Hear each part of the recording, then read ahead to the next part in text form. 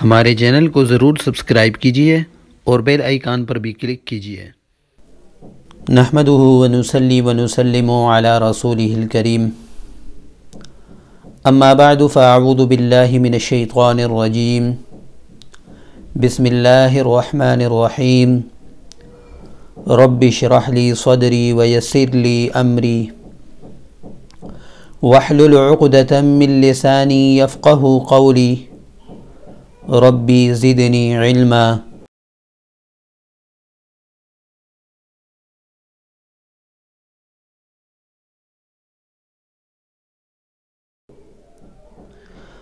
معزز سامعین اکرام السلام علیکم ورحمۃ اللہ وبرکاتہ. فہم قرآن کورس کے لیکچر نمبر انچاس میں آپ حضرات کی خدمت میں حاضر ہوں اور آپ تمام حضرات کا استقبال کرتا ہوں۔ معزز سامعین، اس سے پہلے لیکچر میں ہم نے یعنی لیکچر نمبر اڑتالیس میں ہم نے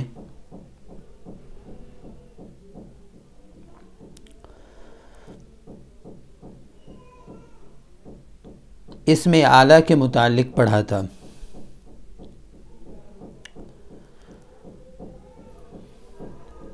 مختصر سا نقشہ آپ حضرات کے سامنے سب سے پہلے میں پیش کرتا ہوں۔ ہم نے لیکچر نمبر ایک سے لے کر لیکچر نمبر بیس تک یعنی بیس لیکچر جو تھے، اس میں ہم نے اسم، فعل اور حرف کے جو بنیادی قواعد تھے، ان کو الحمدللہ ہم نے پڑھا تھا اور اسے کمپلیٹ کیا تھا۔ پھر لیکچر نمبر بیس سے لے کر لیکچر نمبر چالیس تک۔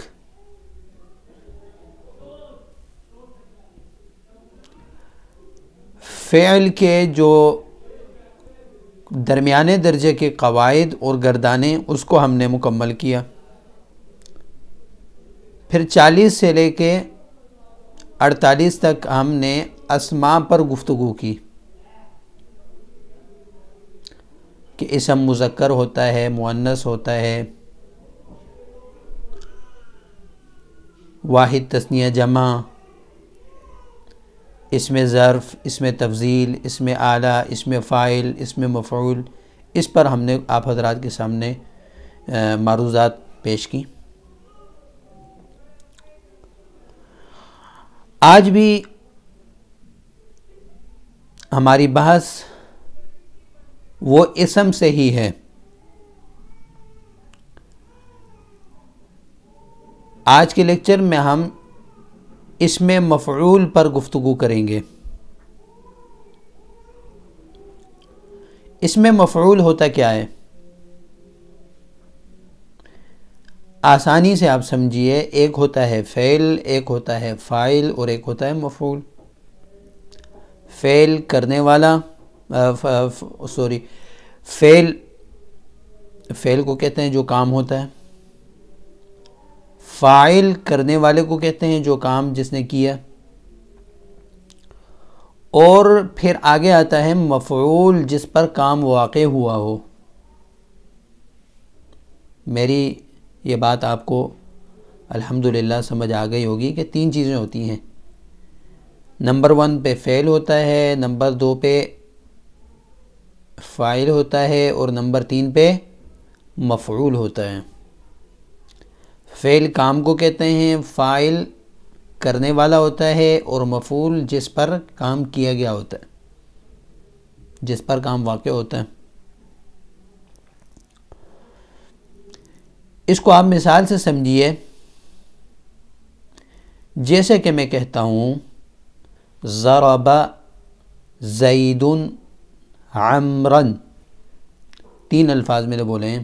ضرب زید عمرن۔ اب ضربا یہ فعل ہوا۔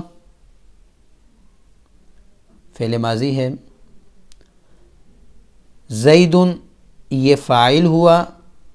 اور عمرن یہ مفعول ہوا۔ کیوں؟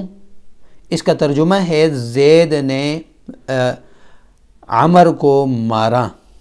زید نے عمر کو مارا، ذرا بزید عمرن مارنے والا زید ہے، مار کھانے والا عمر ہے، اور مار جو ہے وہ فعل ہے۔ اتنا آسان ہے تو فعل فائل اور مفعول۔ فائل بھی اسم ہوتا ہے اور مفعول بھی اسم ہوتا ہے، یہ فعل نہیں ہو سکتے۔ اتنی بات آپ سمجھ لیں۔ تو مفعول جو ہوتا ہے فائل کی بات تو آپ کو پیچھے ہم نے بتا بھی دی تھی۔ مزید آگے جہاں تفصیل کے ساتھ آئے گا تو انشاءاللہ وہاں پر بھی آپ کی رہنمائی ہم کر لیں گے۔ تو مفعول جو ہوتا ہے، مفعول، اس کی بھی چند اقسام ہوتی ہیں۔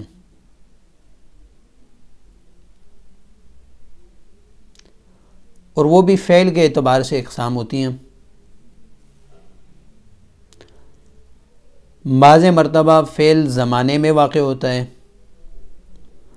بعض مرتبہ فعل کسی جگہ میں واقع ہوتا ہے تو پھر وہ مفعول کی کیفیت بدل جاتی ہے۔ تو مفعول کی بھی چند اقسام ہیں۔ ان میں سے بنیادی چار قسمیں بنیادی طور پہ چار قسمیں نمبر ایک مفعول بھی، نمبر دو مفعول فی، نمبر تین مفعول لہو، اور نمبر چار مفعول مطلق۔ اس کو نوٹ فرمائیں آپ۔ آپ سے یہ معدبانہ گزارش ہے کہ جیسے آپ ہمارے لیکچر سنتے ہیں، اس دوران آپ لازمی اپنے پاس کاپی رکھا کریں، اس پہ آپ نوٹ کیا کریں۔ کئی دفعہ یہ گزارش میں کر چکا ہوں۔ اس میں آپ یہ ساری باتیں نوٹ کیا کریں، اس کے بعد اسے دہرایا کریں۔ جو گردانے آئیں، ان گردانوں کو آپ یاد کریں۔ پھر جس طرح میں مشق کرواتا ہوں، اسی طرح آپ مشق کریں۔ اس کا آپ کو انشاءاللہ زیادہ فائدہ ہوگا۔ تو میں یہ عرض کر رہا تھا کہ بنیادی طور پہ مفعول کی چار اقسام ہیں۔ پہلی قسم ہے مفعول بھی دوسری قسم ہے مفعول فی، تیسری قسم ہے مفعول لہو اور چوتھی قسم ہے مفعول مطلق۔ اب ہر ایک کی میں آپ کو تعریف بتاتا ہوں۔ کہ مفعول بھی کیا ہوتا ہے، مفعول فی کیا ہوتا ہے، مفعول لہو کیا ہوتا ہے، مفعول مطلق کیا ہوتا ہے۔ مفعول بھی کہتے ہیں، اس مفعول کو جس پر فعل واقع ہو۔ وہ مفعول جس پر فعل واقع ہو، اسے مفعول بھی کہتے ہیں۔ جیسے اللہ کریم کا قول ہے خلق نل انسان خلق یہ فعل ہے نہ یہ اس کا فائل ہے۔ ہم نے پیدا کیا خلقنا، ہم نے پیدا کیا، ہم نے پیدا کیا الانسان، انسان کو۔ پیدا کرنے والا اللہ ہے اور پیدا کس کو کیا ہے؟ انسان کو کیا ہے۔ تو یہ فعل یعنی تخلیق کا فعل کس پر واقع ہوا ہے؟ انسان پر واقع ہوا۔ تو اس مثال میں الانسان یہ مفعول بھی ہے۔ دوسرے نمبر پہ ہے مفعول فی۔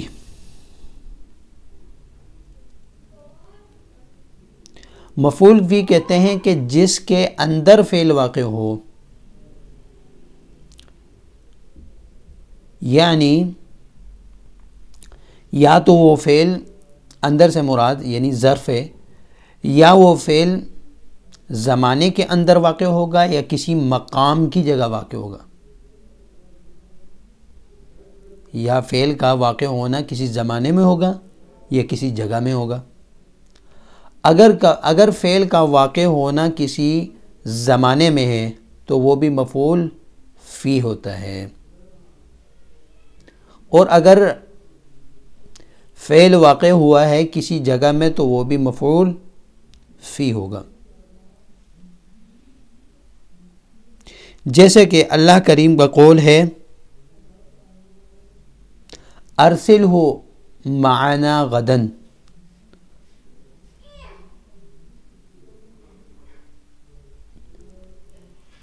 آپ بھیجیے اس کو ارسل ہو آپ بھیجیے اس کو معنی ہمارے ساتھ غدن کل کے دن میں۔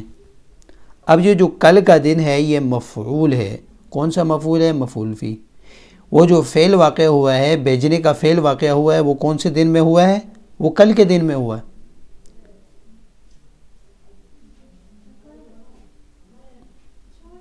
تو جو کل کا دن ہوا یعنی ایک زمانہ ہے، تو یہ زمانہ کیا ہوا؟ مفعول فی ہوا کہ اس کے اندر فعل واقع ہوا۔ اس کی ایک مثال اور میں آپ کو دیتا ہوں۔ جیسے کہ ہم کہتے ہیں میں نے تجھے دیکھا کل کے دن میں میں نے تجھے کل کے دن میں دیکھا تھا۔ میں نے تمہیں جمعے میں، جمعے کے دن دیکھا تھا۔ رائتو کا غدن رائتو کا رائتو کل جمعہ میں نے تمہیں جمعہ میں دیکھا، میں نے تجھے کل دیکھا۔ تو یہ جو فعل واقع ہوا ہے، دیکھنے کا فعل، یہ یا کل کے دن میں ہوا ہے یہ جمعے کے دن میں ہوا ہے، جو بھی آپ اس کے اندر سیغہ لگا دیں۔ تو یہ کیا ظاہر کر رہا ہے؟ اس فعل کو یعنی یہ زمانے کے اندر یہ فعل واقع ہوا ہے، تو لہٰذا وہ جو زمانہ ہوا، وہ مفول فی ہوگا۔ جمعہ ہے، کل کا دن ہے، مہینہ ہے، سال ہے، جو بھی زمانہ ہے، وہ مفول فی ہوگا۔ یا پھر کسی جگہ کے اندر فعل واقع ہو رہا ہوں۔ جیسے میں کہتا ہوں رأیتو کا رأیتو کل مسجد میں نے تجھے مسجد میں دیکھا ہے۔ رأیتو کا فی المسجد، تجھے مسجد میں دیکھا ہے۔ تو کسی اگر جگہ میں واقع ہو رہا ہے فعل، تو وہ جگہ بھی مفعول فی میں ہی آئے گی۔ انشاءاللہ اس کی مکمل تفصیل آپ کو جہاں اگلے لیکچرز میں انشاءاللہ بیان کر دی جائے گی۔ آگے ہے مفعول لہو، جو فعل کی وجہ بتائے۔ وہ اسم جو فعل کی وجہ بتائے کہ یہ فعل کس وجہ سے ہوا۔ ہے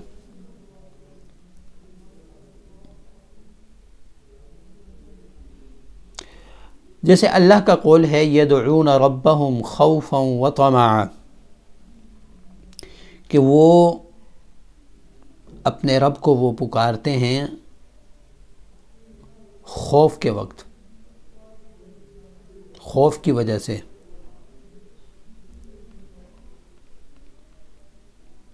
اور لالچ کی وجہ سے۔ یعنی ویسے تو عام حالات میں وہ اللہ کو نہیں پکارتے، اللہ کو یاد نہیں کرتے جب ان پہ خوف کی کیفیت تاری ہوتی ہے۔ یدعون ربہم خوفاً۔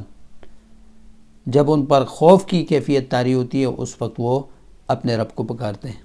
تو ان کے جو فعل کے صادر ہونے کا، کی جو وجہ ہے، جو علت ہے، وہ خوف ہے۔ لہٰذا یہ لفظ خوف اور طمع، یہ مفعول بنیں گے۔ کون سا مفعول؟ مفعول لہو، کہ ان کی وجہ سے یہ فعل واقع ہو رہا ہے۔ اس کو اور آسان کر کے میں آپ کو بتاتا ہوں۔ جیسا کہ میں کہتا ہوں،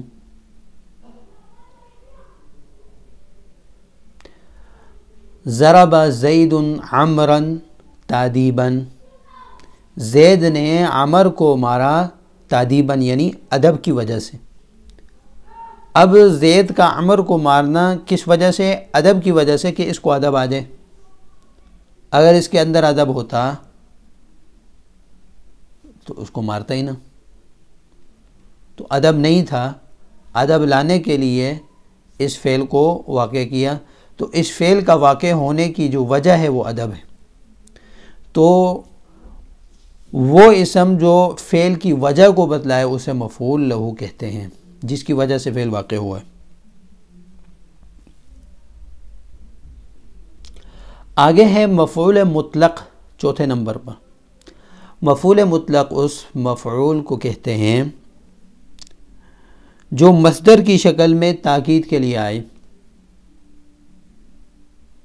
جو مصدر کی شکل میں تاکید کے لیے آئے۔ مصدر آپ نے پڑھا ہوگا۔ مصدر اس اسم کو کہتے ہیں جس سے فعل نکلتا ہے۔ جیسے کہ آپ کو مثال دیتا ہوں ذرابا ہے۔ ذرابا کو ہم نے ضربن سے بنایا۔ ضربن کا مطلب ہوتا ہے مارنا۔ تو ہمیشہ افعال مستر سے نکلتے ہیں۔ ذرابا اور ضربن ضربا کا مطلب اس نے مارا اور ضربن جو اس کا اصل لفظ ہے، اسے مستر کہتے ہیں۔ اس کا معنی ہوتا ہے مارنا، کھانا، پینا، سونا، جاگنا۔ یہ سارے مصدر ہیں۔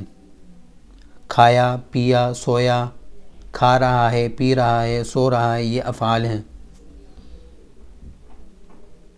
ضربن سمعن یعنی تنوین کے ساتھ جو اوپر آ رہے ہیں، تو یہ مصادر ہوتے ہیں۔ تو اسی فعل کا مصدر آخر میں لے آنا۔ پہلے فعل ذکر کیا، اس کے بعد مصدر لے آئے۔ اور مصدر اس لیے لاتے ہیں کہ فعل کے اندر، اس جملے کے اندر تاکید پیدا ہو جائے، ذرا اس کے اندر سختی آ جائے جملے کے اندر۔ مثال کے طور پہ، جیسا کہ ہے،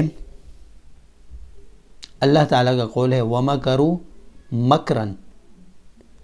وما کرو، مکرو کا مطلب ان سب نے تدبیر کی یا انہوں نے مکر کیا۔ وما کرو، انہوں نے مکر کیا۔ اتنی بات سے بات واضح ہو رہی تھی، لیکن آگے اللہ تبارک و تعالیٰ نے اسی فعل کا مصدر ذکر کیا، مکرن۔ انہوں نے خوب زور لگا کے تدبیر کی۔ کیا ترجمہ کریں گے؟ انہوں نے بہت زیادہ تدبیر کی، بہت زیادہ انہوں نے ہیلے کیے۔ تو جہاں بھی ہم اسی فعل کا مصدر جو ہوتا ہے، آخر میں، جملے کے آخر میں ذکر کرتے ہیں بطور مفول تو اسے مفول مطلق کہا جاتا ہے اور یہ اس وجہ سے ہوتا ہے کہ اس جملے کے اندر تاکید پیدا ہو جائے۔ تو آج کے درس میں میں نے آپ حضرات کے سامنے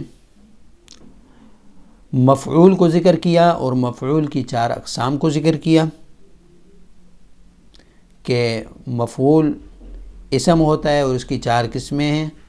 نمبر ایک مفعول بھی نمبر دو مفعول مطلق مفعول فی نمبر تین، مفعول لہو اور نمبر چار، مفعول مفعول مطلق۔